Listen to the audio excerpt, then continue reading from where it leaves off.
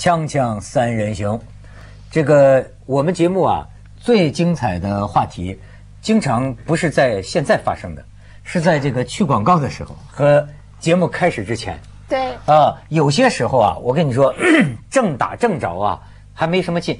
比如说今天咱们预备呢，本来说要聊聊前几天这个林丹结婚的事儿，就是可以看看这个照片啊。呃，他跟这个这个这个什么啊，反正就是谢杏芳。其实我觉得这有什么好聊的呢？他就是个一个结个婚呗，对吧？也很没意思。所以反倒我觉得啊，你们俩刚才争论起来的事儿更有意思。就刚才呢，徐老师和幼婷啊谈到一个问题，就是说太太准不准许老公啊跟这个前女友吃饭？幼婷，我没想到你是这么样的激烈。不行啊！我的就是我的男朋友，我觉得啦，他可以去认识新的美眉，他可以去泡吧，他可以呃跟新的女生吃饭，但是他不可以跟前女友。李瑶说过，前妻是魔鬼，前女友也是。前妻说是世界上最可怕的。对呀、马老师马家辉博士不是也说吗？前妻都会写来写书骂你耶，所以那是因，为他没有前妻。都会这个会报复，所以。因为你他你会想象他跟那个前女友过去是这么这么亲密的相处，然后我是新的，然后你就想象他那光那个精神上的重叠，你就我开始啊、你看哦，我开始徐老师，我跟你想的是一样的，就是后来我觉得啊，他们台湾女性啊，有可能有这种想法，挺计较，因为他们 计较父权社会下不是因为啊，我们我们就是我的经验呢、这个前女友啊是没有问题的，一个呢前女没有杀伤力的。前女友啊，就好像就是真的像一家人一样，对，就我说混得好这就对了，家人，家人这两个字就是 key word，他就希望你好，真的，他说不定他都已经家人，又我都还不是。你的家人，你前女友就是你家人了，嗯，但是你有 sex，他没有 sex，这很重要。哎 对我来说，有没有 sex 还好，这个精神上得先是这么亲密到像家人才行。你看，子东老师劝劝他。子东老师老是背着赶快，你用男人的观点说服说服我，因为子东老师最爱跟前女友吃饭，所以他必须跟你说说。你跟不是，我想说，以我的男的男人的角度的经验我觉得男女呢，他是他一旦一旦有朋友关系呢，他一开始呢，他总是朝一个假定的方向发展。这个假定，我们通常就说的结婚或者在一起。对，但是到了某一个时候，男女关系是不进则退的。一旦在某一个时候，他们发现不可能走下去了，那么这个时候关系就会有女的会先发现，男的他他停留在这个过程当中还很对开心，但是女的就发现 it goes nowhere，对不对？她觉得这个像河流一样逆流嘛，我这不上了，我就在往后走，所以女的会比较早的就就发现说，到底我们会怎么样？好，这个时候就过去了。如果这个男的时候没有勇气跟他一起往前走，就过去了，就变成了前女友、前男友了。这个一旦过去了以后，这个就过去就不可能了，这个啊，我我就觉得，就说，呃，一个是什么呢？余下来都是友情。好过到最后不好了以后啊，再回头那个男生那个味儿变了，不会男生不吃回头草，爱情变质了。就是说很难，呃，不是没有例外啊，对对对就有有破镜又重圆的啊，那那是另外的故事。但是一般大部分来说啊，真的他们很难再有什么苟且之事。但是我想说的是，你的朋友这么多，对不对？你为什么一定要跟前女友变朋友呢？少他一个，对你的人生有很大的影响吗？你看他还是不准他就是不准。就我想知道，就是为什么，对不对？为什么你会跟前女友保持关系？因为他懂你，因为你们很亲密过，你讲很多事情，他马上就懂。对呀、但是这对现任女友来说，就是很重要的事情，就是所以女性啊，要她这么懂占有的你要占有的还不光是这个性的问题，她要占有的是个精神世界。你们有一块共同的回忆，这个她也不舒服啊，你知道吗？最好以后脑子里植入某种晶不，片。你可以想了。把以前你可以想，你当然一定，你你跟谁都有过去，这些我没办法参与。但如果他跟你十年前认识，他认识你十年，我没有办法在十年前碰到你，但是这个就在留在你心里，你去半夜午夜梦回想没问题。但你要这么明白的做出来说，我就是要去跟他叙旧，哎，你太欲就这不是，就是太伤人就是占有 占有欲这个事儿啊，还真的是挺麻烦。而且分寸很难拿捏哦。呃，就是说，你比如说啊，有些你知道吗？就有些男人呐、就尤其当时呃以前中国的这个旧式的男人啊，这个占有欲到了极端的时候啊，真的是能到那种程度，就是说，呃，他呀跟这个女的呀，这个女的你以前有过男人是吧？甚至是以前有过什么床上的经历啊？对这个男人要问到啊，你们是怎么搞的？你们的每一个细节，他的他的，你看他这个占有欲是怎么变换的呢？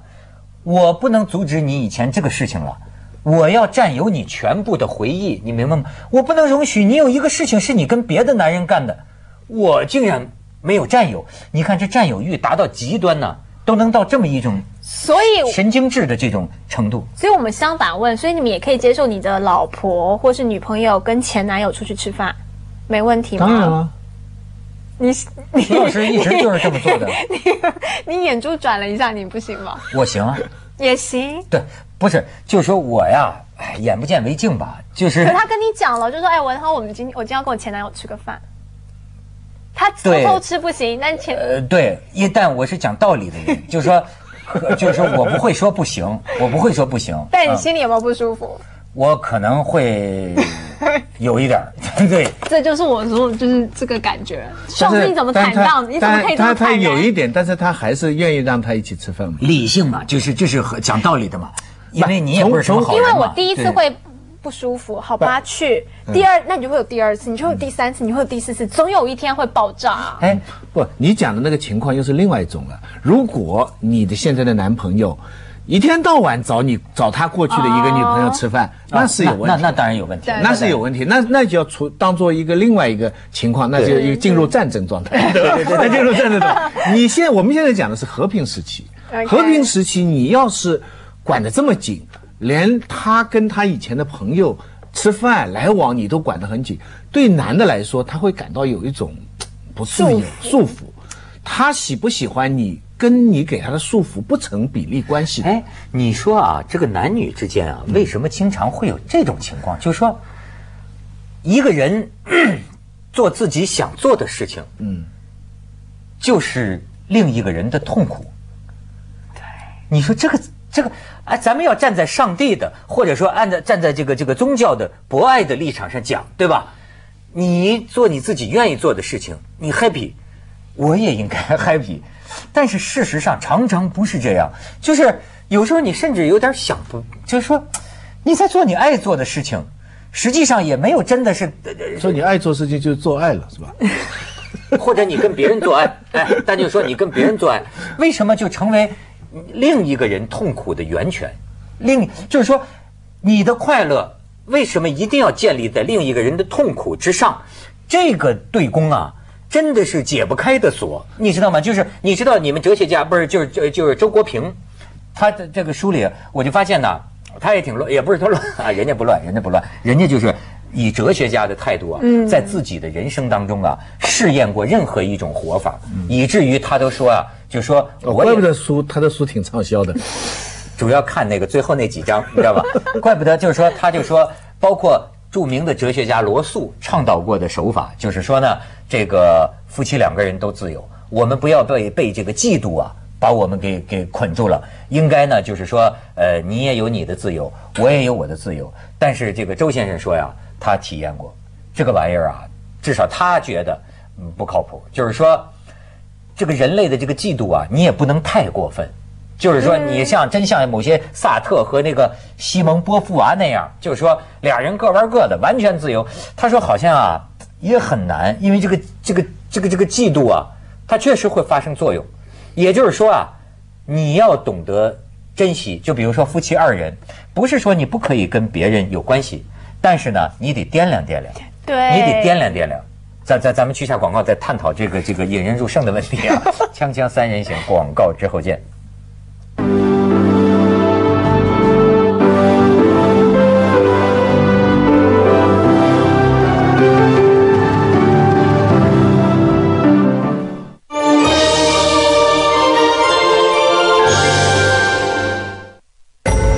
九韵古法，配桃花春曲，采无极之水，汇原酒精华，年份原浆，古井贡酒。Take me to a place I belong. 回到这片海，发现真正的自己。我的国度，我的上层游艇人生。雅居乐海南清水湾，核心科技就在格力。格力变频技术荣获国家科技进步奖，让节能舒适一路领先。一赫兹好变频，格力掌握核心科技。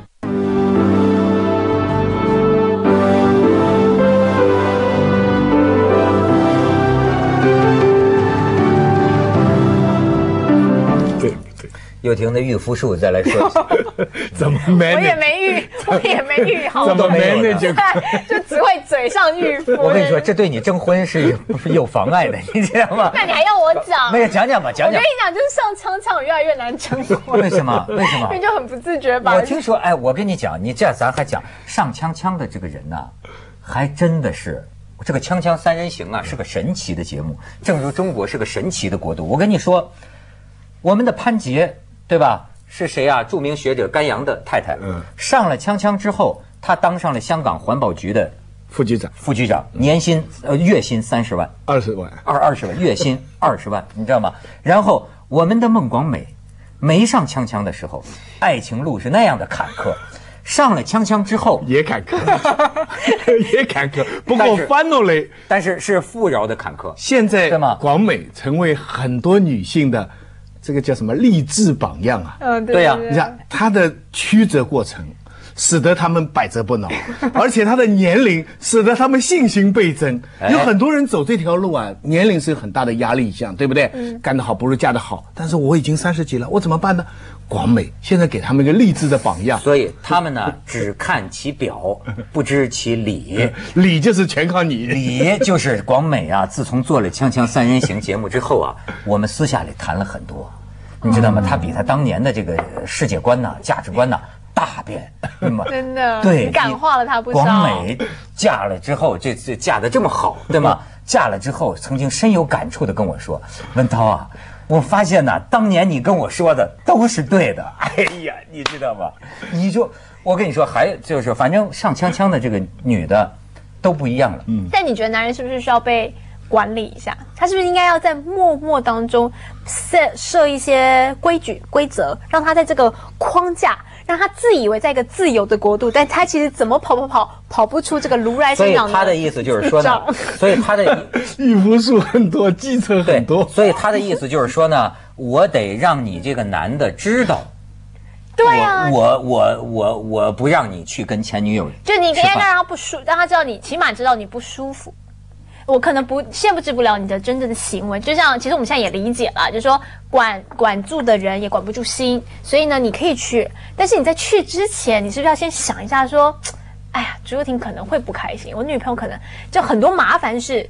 就等于说，你要在跨出那个要你要出轨之前，你可能都想一想，我可能会失去家庭，我可能要赔好多钱，我可能要失去房子，我也看不到小孩。那你想到这些，想完以后，你看你都软了是吧？你就你就不会想要往前走了。但如果你一开始就给他觉得你的你的世界就充满着无比宽广，你就是脱缰野马，再也回不来。的意思就是说，就像公司嘛，咱们得有规章制度，说要连规章制度。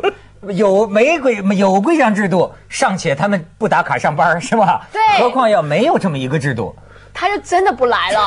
我跟你这个挺讲，这个没有实战经验，战略战术方针一大堆。谁说没有实战经验？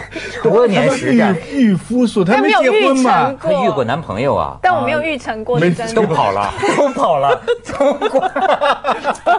你这个风光是做的挺好的，对对这洞都是很大的你说。是有道理？对对有嗯没有，有有有，所以还是拜你们拜你们以男人的角度告诉我一下，就是我如果这个有错，我也想我也想遇好。我跟你说你告诉我怎么遇吧。因人而异，看你找到的是对，真的看你找到的是什么人。对于有的男人来说啊，你让他这个彻底的自在之后啊，这个鸟啊，它飞出去啊，它还会飞回来。但是对于有的，就是说对于这种男人来说啊，你不要老给他找别扭。嗯，你知道吗？你你这种你说啊，我给你要立立法三章或者什么，你这种所有这些别扭的时候啊，会让他感觉到一种很烦。是但是也有一种男人，真的相当甚至相当一部分的男人，就像你说的，鞭策。鞭策，你先给他立个规矩，或者说啊，其实女人呀、不不要忍气吞声，就有的时候啊，要勤于反应，你知道吗？就要要就跟言论自由一样，我我就是被侵权了，及时就要表达，及时就要表达。综合你的说法，就是说你得看男人是什么。如果他是一条虫的话，你就给他前面拦住，因为否则他他到处乱爬，不知道爬到哪里去，哎他找不到回哎哎哎来。如果他是马的话，那你就有一片草原，你你给他限的太框框的话，这个马整天的啊叫。很很麻烦。如果它是鸟的话，你再怎么限也没用，你给它限个笼子变动物园了，但是它该回来还是会回来。是啦，所以就不就学习这个分寸嘛，就是怎么去把握。现在有动先到动物园里去实习一番，观察一番。对要是对呃最好就是养个河马，你在 沼泽不动泡在那里不动，而且它力气又大，对不对？不是，而且啊，她有时候这个她是台湾女性啊，她忌讳这个前妻、前女朋友啊，有你们的这个父权文化的痕迹。内地没有吗？也有，但是我确实能理解啊，就是说有一种呃台湾女朋友或者前女友或者前妻啊，她是那么一种，她对男人有时候很容易有一种幽怨，就是过去你哎，我给你讲一个我的台湾朋友的这个故事啊，就是说他呢这个跟就以前的女友，以前的女友呢好像是还都都成了家了，但是你看女人就这样，他又找了新的女朋友，那么他后来就是挣的钱更多了，就是住的房子更好了，事业或者更大，也就是那么，那他的前的女朋友啊呃又来了，又来了之后呢，甚至对又来是什么意思？就就又跟他和好了？没没没有，就是又又又又遇到来往了。又来啊又来往，又来往，这就又到他的城市，甚至于你看这个关系就好到什么呢？他就他的前女友啊，他邀请他呀，还是住在他的家，还是住在他哇，那。他现女友这个哎胸襟真宽阔。没错，还是住在他，但是你都不知道，在这讲啊，就是后来他他都不知道，晚上大家在客厅里这么聊天嘛，聊的差不多了，那么就说哦，我要跟我的现女友就去睡了嘛。这个前女友安排的客房嘛，前女友就是说在客厅里再坐一会儿，那么就是啊，他们俩先去睡了。到后来，他跟他这个前女友吃饭的时候，这个前女友就跟他讲啊，就是你知道，就他跟现女友那个主卧室这个门一关，他这个前女友啊嚎啕大哭，当然是哽咽啊，就不能让他听见。为什么？为什么？你说这个这个前女友，她会有一种很奇怪的想这个想法，就是说，这本来应该是我的，对吧？本来应该是我和你住在这样的一个房子里，本来应该是我和你现在进到那间主卧室，现在该睡了。嗯，你知道那样的一种所以我有时候不是不相信人，就是我不是不相信文涛，不是不相信子东老师，我是不相信人性，你知道，就是这东西不能被考验。你不可以给他一个机会，不停反复的去考验他。可能第一次他很好，第二次也很好，但三四次的考验，就像这个女孩子，她可能刚开始也不要你回来，她也不见得要你回来。可是看你每天这样进去，她可能如果现在又更不幸福的话，她就觉得我就不要，就是我也要跟你有有试试看有没有再有机会。当然这是我来所以他他已经。不是这这是广告之后再破坏啊！锵锵三人行，广告之后见。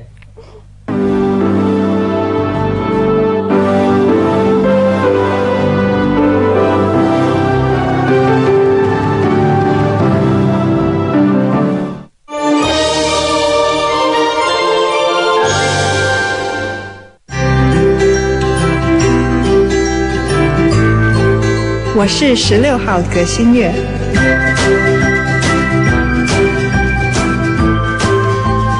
我是十七号徐静，我是十八号王雨婷。丰盛十年，大理特约之二零一二中华小姐环球大赛。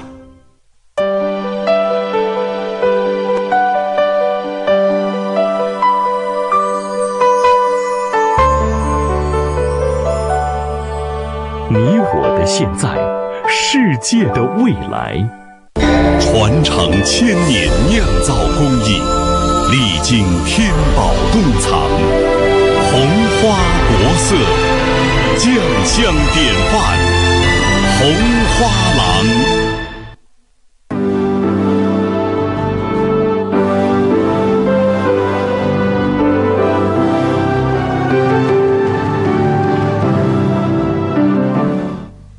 哦，徐老师破坏一下。那个不是那个，伍迪·艾伦最近拍了三部欧洲城市的电影，你知道对对对巴黎、巴黎罗马罗马、巴塞隆纳。呃，回过头来看，还是巴塞隆纳拍的最好。你刚才讲的那个场景啊，在那个电影里就出现过。哦就这对一对男女嘛，他们老是吵，最后呢，有了一个第三者女的进来以后，三个人关系反而好了。最后那个第三个进来那个女的受不了了，她走了，这一男一女又吵开了。那个电影里面讨论了各种男女关系的多种可能性，比方说有有要快结婚了，爱爱上了一个男的了，一夜情背叛，但是又最后又回去了，最后这个没没成功。但是那个沃迪·艾伦这知识分子电影，最后他那个讨论的结论呢，就是没结论。因此我看到了一个报纸的报道，这个是相关的。根据《经济学人》的报道说，在一九五零年的时候，全世界只有百分之四的人是单一个人住的，百分之二十二的人单身。这个数字到了现在呢，差不多要到一半了。他讲了一个数字，而且最有意思的是，婚姻的比例是跟国家经济的发展成反比的。对，越发达的国家，不结婚的人越多。越多嗯，这个在西欧呢到百分之三十五，在北美呢是百分之三十，增加的最快的是东欧。你们知道东欧过去这些年，它从百分之十几增加到百分之三十，然后只世界上只有一个例子是相反，就是中国。中国的这个林丹的例子可以做一个很好的注解。中国的经济高速发展，结婚率也高速上升。当然，离婚率我们先不去讲它。中国的结婚率过去是百分之十几，现在还是百分之十几，就是单身率。但是单身率小三儿率有统计吗？小三率他就不在了，啊，他他就这个是个非常有意思的现象，就这里很多人讲的，当然他讲的单身是指啊、呃有的是就是有情人是。啊，有的就是对当然呃呃也不就是会素着呀。同居。但是不结婚，有的就是单独一个人生活，因为你们刚才讲的圈马圈呐、这个在一个客厅里啊，这么勾心斗，这真的个这个太复杂，又挺所以百分之将近四十的人，我觉得真是，就是说你都有点凹了，你现在还预复数呢，还圈来圈去呢。我跟你说，最近我准备写一篇论文，就是说啊，这个 网络时代啊，对人际男女之间奸情关系的影响。你知道啊，就是说，我给你举个例子，对吧？就好比有一天呢，有个女孩，哎，给我发一个什么呢？这个这个这个发了个信息啊，发个信息说，我梦见你了啊，好，呃，就现在不都玩这个微信吗？呃，我说啊，咱们再加加一个这个微信，哎，但是呢，我微信的名字啊，不是我本人的名字，就你不知道我是谁。然后呢，我就把这个微信发过去了，然后呢，他就要问我嘛，说你是谁？我说我是你说呀，你梦昨天梦见的人，他不知道是谁，你知道吗？你他不知道是谁，我说那就正好了啊，咱们俩呀就洗洗睡吧，这不必知道是谁了。我跟你说，我说这意思什么意思？就现在你注意到他们玩你们玩这个微信、微博种种的东西，男女之间是种什么关系啊？网状关系。我网，我跟你说，我跟谁这个都可以。说起来呀、就是让传统让古让古典派寒心呐、你以为这女孩或者这男孩光跟你一人聊呢？他同时在跟三四不恨不得四五个人在在聊啊不。是说有一个演员很感动的送了一个一块石头吗？结果人家查出来，好多其他的人都有这块石头。是是是是结果后面人说你是一批定的，但是这这不是不见得是坏现象。你看，就是时代已经网状恋情。时代已经接着下来为您播出一个《西安楼冠文明启示录》。嗯他也是这样，你也是这样。哎，回到我们刚才讲的。